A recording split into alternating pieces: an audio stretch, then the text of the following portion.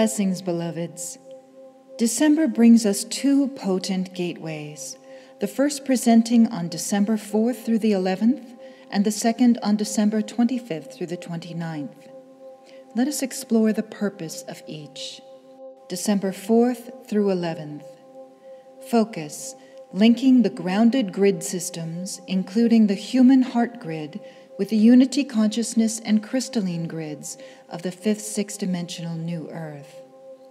Apparently, a merge is occurring, which is fantastic. After two years of marinating the old grids with new light, our grids are now carrying more new light than old light frequencies. With the cosmic wave trigger on the 7th, we will be firing the golden, crystalline diamond light of the new human and the new earth as preparation for the intense upgrades and energetics of 2015.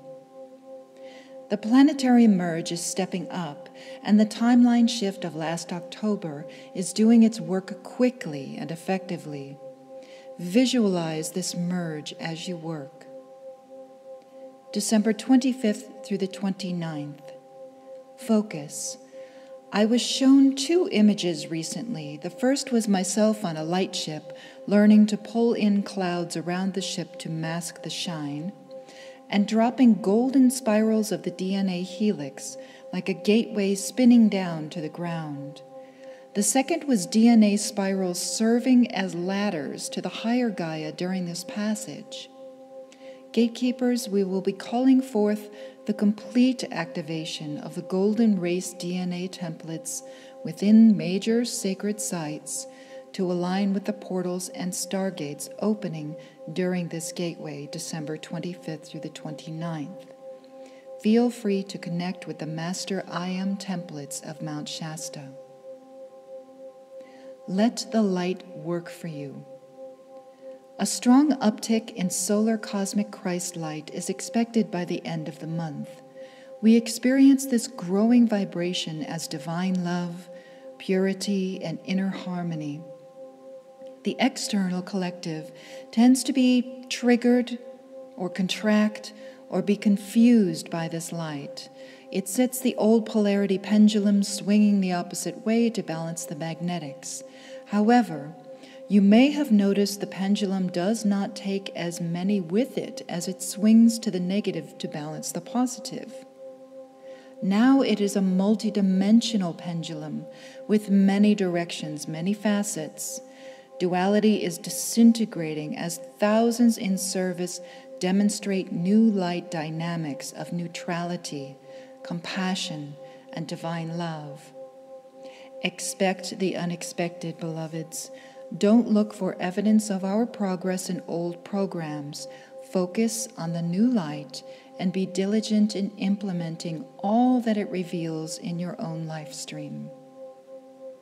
Typically, the holidays and end of the year attract strong light since so many, awakened and unawakened, celebrate, pray, gather, worship, and raise their vibration with gift giving and assisting others during the holidays. The unified activity of the holidays and New Year's resolutions creates a magnetic which attracts light to intentions. Now that we are in zero point dynamics, the energy of that collective experience becomes stronger. Gatekeepers and grid workers use this vibration to support your energy work. Gateways become very amplified when the collective consciousness is in resonance the unknown zone. My Pleiadian team says that our hard work and adjustments were just a warm up for these energies that we are about to experience. We are about to receive energies which are unknown to our body and energy fields. It is difficult to predict what they will do to some forms of consciousness. The slow and steady progress of ascension will be triggered into a higher gear. It feels like a combination lock, all the factors finally aligned for a great unlocking of the unknown.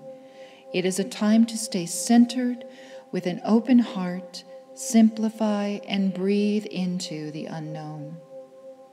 We'll need to experience divine flow in a brand new way as we enter the unknown zone. hands on the heart, breathe, say thank you for the ascension. There have been many adjustments to the physical this year as the revelations unfolded. This continues, beloveds. Personally, there have been many moments when I wondered if my body could handle the new light. I am in the middle of another round of skull changes, and the nervous system, meridian, DNA activations have been exhausting. However, along with the physical adjustments comes an amplification of ease and grace and a profound letting go while still engaging sensation as we walk between worlds. My experiences with the higher realms have become much more pronounced and often bizarre as my consciousness merges with my team. A powerful magnetic shift was felt here just before the Sedona quake this week. I expect more of that as Gaia's higher and lower grid systems merge. Remember, energetic intensity is planetary as well as personal.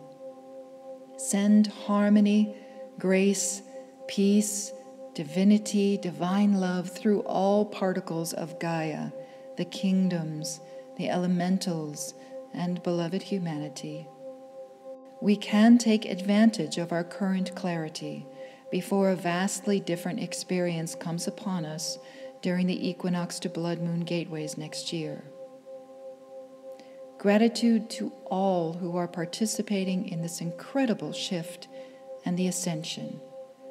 As weary, tired, or wired as wayshowers may be, we are receiving the highest accolades in the higher realms.